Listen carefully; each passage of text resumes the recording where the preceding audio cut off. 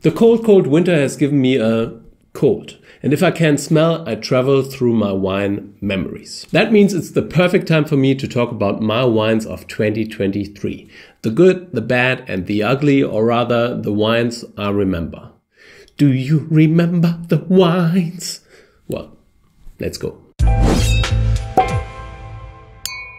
2023 has been a good year for me as I've tasted thousands of wines. On my mission to make the world taste better, I've traveled to California, Georgia, several times to France and Italy, and of course the growing regions of Germany, and believe it or not, England. There's no chance that I can talk about all these experiences here, so I'm going to focus on the ones that really stood out, mostly because they were good. There were many bangers amongst the wines that I've tasted, cult wines or unicorn wines that are really hard to get, but I'm going to mix in quite a few wines that are affordable or easier to purchase to make it more interesting for you. This is not all though. At the end, I'm also going to share which bottles I'm going to open in 2024. So let's dive in. So let's start with champagne, as you do, and this is the 2006 Pierre Moncuit Grand Cru Blanc de Blanc Champagne which just blew me away. This wine clearly shows that you don't always need to buy the big brands, the Grand Marque, because this is a more, well, smaller label that hasn't the same production and marketing machinery behind it. But the wines are delicious. And this one in particular was extremely complex, multi-layered, and it lasted for quite a while. And the interesting thing about this wine was after tasting it over and over, it lost quite a bit of its CO2, but it still tasted delicious. And that's a very good sign. By the way, a good way of keeping sparkling wine is to use the Coravin sparkling. You basically just add a thing, a closure on top and pump some CO2 into the bottle and the wine just keeps its freshness for longer.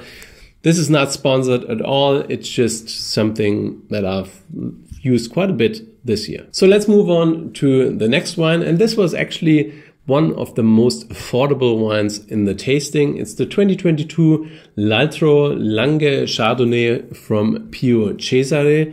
I mean, Chardonnay from Piedmont is not a huge thing, I would say, but it's becoming more and more popular down there, but also, for example, in Germany and many other markets in Europe.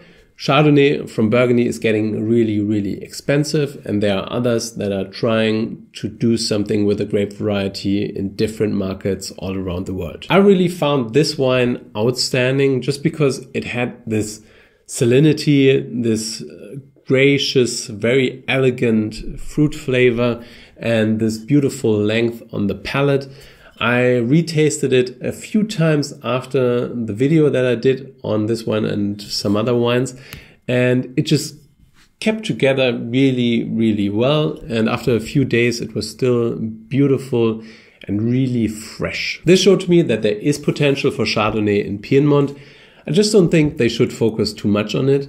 I think it's great that they made this wine, but come on, just focus on Nebbiolo, Barbera, Dolcetto, and so on. That's that's this, that's really the stuff the world needs. Next up, we have the 2010 Prager Achleiten Grüner Veltliner Stockkultur from Austria. I did taste this wine in the Jancis Robinson comparison where blind tasted against her ratings. And this was just so delicious. It's such a deep, and complex and really exciting wine. I think I rated it 97 points, which is a high score, but this wine deserved it. And it kind of reminded me that I should try more Grüner Veltliner. The grape variety was super popular in the 90s, as far as I can remember, maybe even the early 2000s, but it's not as important anymore, as relevant for whatever reason. Maybe that's just my impression. But Grüner Veltliner can produce amazing wines if handled this well. A wine that changed my perspective on how white wine should taste was the 2012 Vina Tondonia Reserva Blanco, which was just so good. You know, in my mind, usually white wine needs to have quite a lot of freshness and zing in order to be really good. I drink white wine to be refreshed. And I think it's an important part of every great white wine. Even the bigger ones should have quite a bit of acidity in order to lift it and well, just make the wine more interesting. With the Vina Tondonia, I found that the acidity is actually not what carries it. It's the texture, the grip, the richness, the intensity, but at the same time, also liveliness on the palate. Liveliness not through acidity, but rather through the overall texture. It was just so complex on the nose and I really I can still taste it right now, even though my nose is blocked, but I can taste it. Delicious wine. Let me see whether I can actually still get a whiff out of this bottle. I think it was sealed since I emptied the bottle, so let's let's let's smell. Mm. Even the empty bottle is delicious. It smells like like a Colheita port, a Tawny port, something like that. Oh, really delicious. Another wine that plays at the other end of the spectrum is the Tyrrell's Vat 1 Semillon from 1998. This wine clearly breaks with quite a lot of preconceived notions, like for example that Australian wines always have to be big and rich. This is really light in alcohol, 10.5% and very acidic and fresh. The other one would be that white wines shouldn't be aged. This one was actually still so fresh after 25 years of aging that it it felt like it barely started maturing. And the last preconceived notion would be that wine filled into milk bottles can't be good. I mean, this bottle is just too much. But well, who cares if the wine tastes like that? This wine was actually one of the great wines I've tasted at this year's Master of Wine Symposium, an amazing event where people from all around the world come together to talk about wine and taste wine. So it is very, very nerdy, but it was amazing. And this one of the standout wines. So we can't do one of those without a Riesling. I actually looked at the list of outstanding wines I've tasted this year and there were quite a few Rieslings in that list, so I had to be quite selective. And this is, yeah, it is a wine that is very difficult to get. So you can look it up, but but um, if you find a bottle, it's going to be expensive. But it was just delicious. The 2017 Keller Pettental Riesling was one of the best Rieslings I've tasted this year, and well, Keller probably would feature in quite a lot of those best wines of the year videos if I do them every year.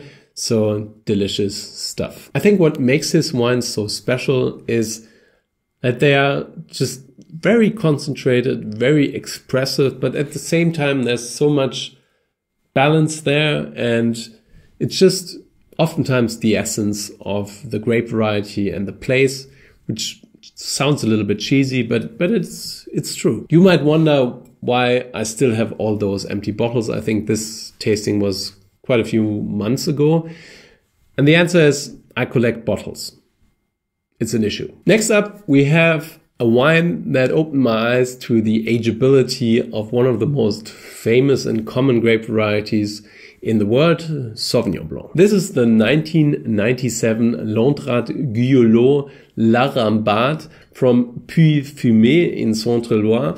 And, well, the reason why the bottle isn't empty is because I took some wine out with my Coravin. And the thing that makes this wine special to me is that it's a Sauvignon Blanc and it's more than 25 years of age and it's still delicious. Sauvignon Blanc is one of those grape varieties where people think you can't really age it. You should drink it straight away. But that's not always the case. Some of these wines can age really, really well and they become more interesting and exciting after a few years in bottle. This is one of the oldest Pouilly Fumés I've ever tasted and the wine still showed really, really well. There was a bit of bottle variation, so some bottles were better than others. But if you got a good bottle. It was really, really good. Next up, we have the 2022 Patatsfontein Montagu Steen from South Africa. You know that I'm trying to further my knowledge about South African wines. So I'm actually importing this producer into Germany. I have this unwritten rule that I never review wines on my YouTube channel that I also sell. I'm not selling this wine because it's not available. I would have loved to buy some of it but I just couldn't get it. But this just was the essence of Chenin Blanc from South Africa, in my opinion. It's a delicious wine with lots of crisp, ripe, and bruised apple notes, some waxy notes, some lanolin, some wild, wet wool character as well. On the palate, it's just super fresh with great concentration and just amazing balance. I again didn't make it to South Africa this year, even though I had some opportunities, but it just didn't work out. But this is one of those wines that makes me want to go there. Maybe next year. Next up, we have the Matsuno Tsukasa Kimoto Junmai.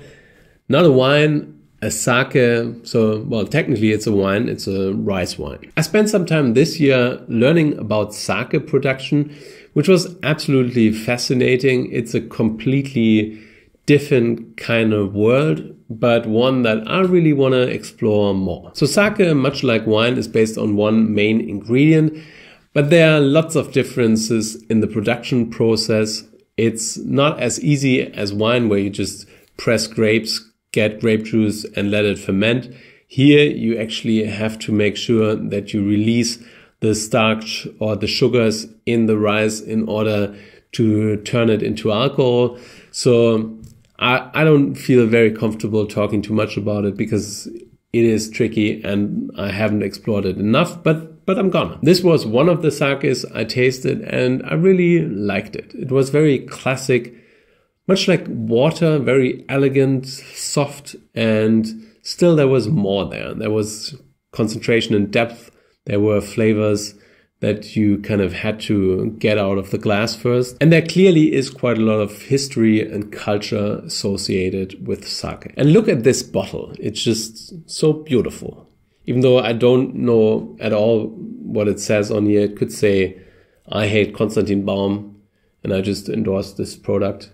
But I, I hope it doesn't. It, uh, I'm pretty sure it doesn't. So now we're moving into red wine territory, and here I have the 2021 Bernhard Huber Schlossberg from from Germany, from the Kaiserstuhl. It's a großes Gewächs. It's a very very delicious red wine, very complex wine with lots of layers, and even though it's still very young, it showed lots of promise. I'm more and more convinced of the quality of German Pinot Noir. I think there are so many great producers out there right now. The wines are getting more expensive, but most of them are still fairly affordable, at least when it comes to Pinot, things easily get really, really expensive. So German Pinot still can be a bargain. And wines like this just yeah, they they're just delicious. They are amazing. They are really high end, and they can can play with the best. You know, they're at the same level as some of the best wines from Burgundy. I have to add one wine of which I don't have the bottle, but I have a picture on my phone. It's the 2019 Pinot Noir from Monti e Hokkaido a Japanese Pinot that didn't really taste much like a Pinot from Burgundy, where Montille is from, or Etienne Montille is from, who's involved in this project. It is very pale in color. It smells of strawberries and is very fragrant and soft and elegant. And it's quite juicy and light on the palate as well. Not a wine of structure, but a wine of beauty. And it just highlighted to me that there's just so much more to discover in the world of wine. Japanese wine is certainly not something most people have on their radar. Maybe it will never pan out, but there's potential there to turn Japan into an interesting winemaking country as well. Maybe at some point in the future. So the wine world continues to grow and it continues to amaze me. Next up, we have a full bottle and it kind of represents a region that I traveled to this year where I really loved the wines and kind of fell back in love with Sangiovese. It was Vino Nobile de Montepulciano. I'm actually going to bring out a video on this region on my trip there. I tasted quite a few different Vino Nobiles, which are based on Sangiovese in Purezza. And I really like them. They are so fresh and fragrant and lively, and there's quite a lot of chew to them as well. Boscarelli, for me personally, is one of the best, if not the best, because it combines this chewiness, this edgy tannic structure, the acidity with nice body and juiciness, and it's just it's just delicious. This is actually the Il Nocio, a wine from a single vineyard, which has been in the family for a long time and produces really outstanding grapes and therefore really good wine. Next, we have the 2019 Dunn Vineyards Cabernet Sauvignon from Napa from Howell Mountains. I actually tasted this very recently in my Wine Spectator Top 10 video but I just really, really like the wines. Napa Valley Cabernet Sauvignons often get lots of complaints. The wines tend to be fairly expensive and sometimes they are really rich and powerful, maybe too rich and too powerful. But when they made right, then they are just delicious. They are, there's a reason why these wines are so expensive. Usually it's because there's high demand for them because this style is just delicious. Here at Dunn, they also focus on balance. There's not just body there, there's also freshness and tannic structure. And while the wines are accessible fairly early on, they can also mature for a long time. This bottle stayed open for a few days in my cellar and I tasted and retasted it and just enjoyed it. However, if you're thinking about opening this right now, then pour it into a carafe in order to give it a little bit of air so that it can express itself fully. But don't open it right now. Just keep it. Don't be as stupid as me. Keep it for 10 years. At least. And here we go. This was just a delicious treat. The 2010 Pontet Canet from Pauillac in Bordeaux. I think this wine was rated 100 points by Robert Parker. So I tasted it in the Robert Parker tasting video, which did really well. So thank you for that. And yeah, I, I, I just really like this wine. Um, it's one of those Bordeaux that definitely deliver on a very high level and it's not crazy in terms of pricing. It's very expensive, but you can still afford it if you kind of save up a few euros or dollars in order to purchase it. I think there's quite a lot of love for Pontet Canet, which might be because Alfred Tesseron, the owner, is a great guy. Maybe because they've really pioneered organics and biodynamics in Bordeaux. Maybe it's just because the wines are great.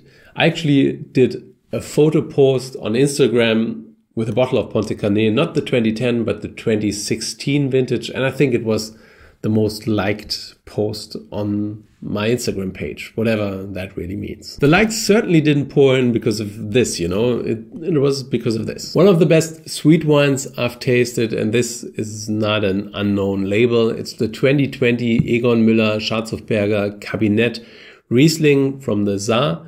I actually tasted a few different wines from Egon Müller this year, and all of them were outstanding, which goes to show that some hype wines are really worth the hype. There's a reason why these wines are so expensive. I mean, the quality is just on another level. That said, the Kabinett is actually not that expensive.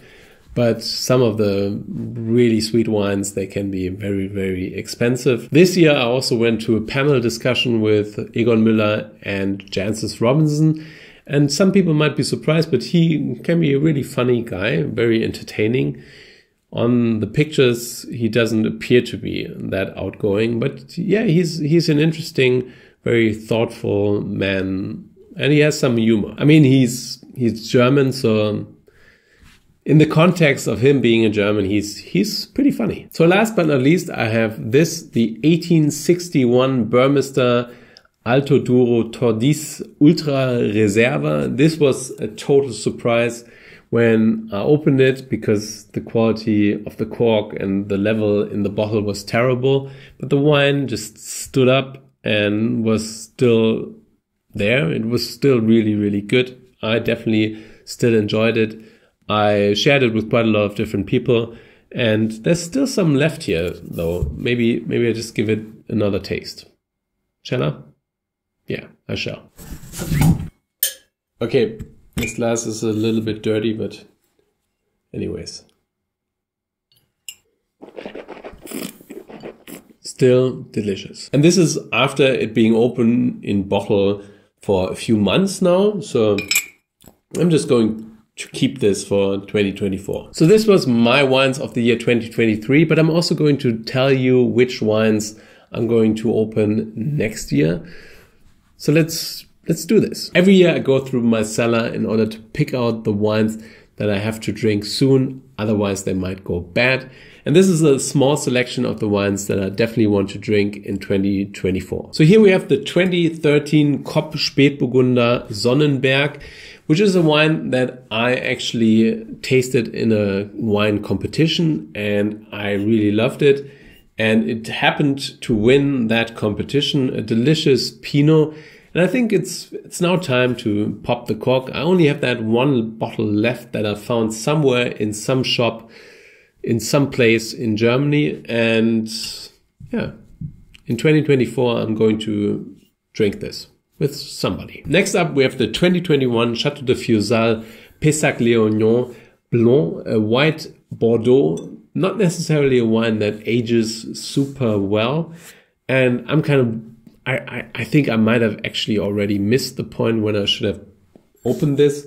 I mean, looking at the wine through the glass, it still seems to be okay when it comes to the color. So, yeah, but I definitely shouldn't risk keeping it for any longer. Next, we have the 2004 Corton Charlemagne Grand Cru from Domaine Maratray Dubreuil in Burgundy, a white Burgundy from the 2000s Mm, quite a lot of white wines from Burgundy during that period around the millennium had this issue, which is now known as premox, premature oxidation. So they turned into vinegar, brown, and disgusting pretty early on because of deficiencies in the vineyard, winemaking practices that weren't really adjusted to the conditions and the quality of the grapes.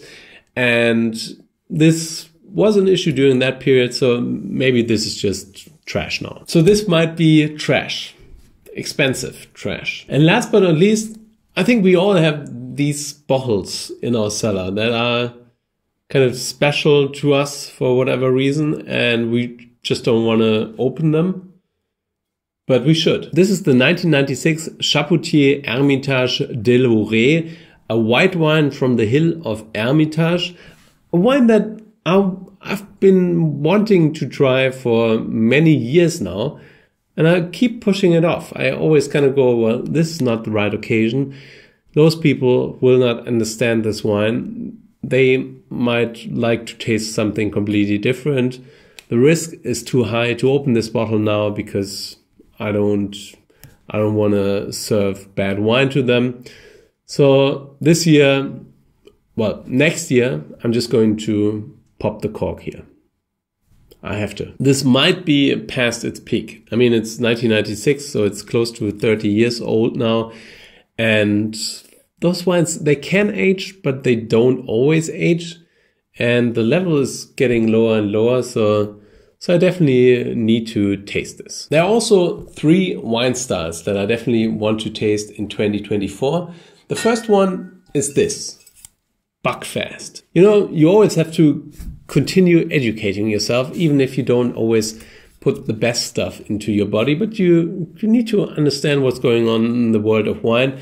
And Buckfast is certainly a wine style that is special. It is a traditional drink made by the Benedictine monks of the Buckfast Abbey in Devon, England, and they describe it as a red wine based aperitif with high caffeine content. I've been told that it is a party drink in the UK. It has 15% of alcohol and it has caffeine, so it's a little bit like the vodka Red Bull before vodka Red Bull. Last but not least, we have two wine styles that represent two different grape varieties that I want to taste more of in 2024. One is Syrah. I love Syrah. There's so much great Syrah in the wine world, but I don't drink enough of it. So I definitely want to taste more Syrah and explore what's going on in that world right now. The other one is Cabernet Franc. So this is this weird bottle is a Chinon, And Chinon is obviously based on Cabernet Franc. I hear more and more things about Cabernet Franc where people start using more of it all around the world, from Italy to California and everything in between. So I want to taste more Cabernet Francs and kind of really understand what this grape variety is all about. All right, this was my 2023 review and 2024 outlook. I certainly couldn't cover every wine style that I enjoyed this year. There were so many more, but at least you get a bit of an overview on what's going on in my head. Not that you really want to see that, but anyways, I hope you had a great year as well. I really enjoyed 2023. I really enjoyed what's going on on this channel. So thank you all for contributing, for sharing your opinions and just watching the videos. My question of the day obviously has to be what is your greatest wine moment of 2023? Let me know down below. I hope I see you guys again very soon. Until then, stay thirsty.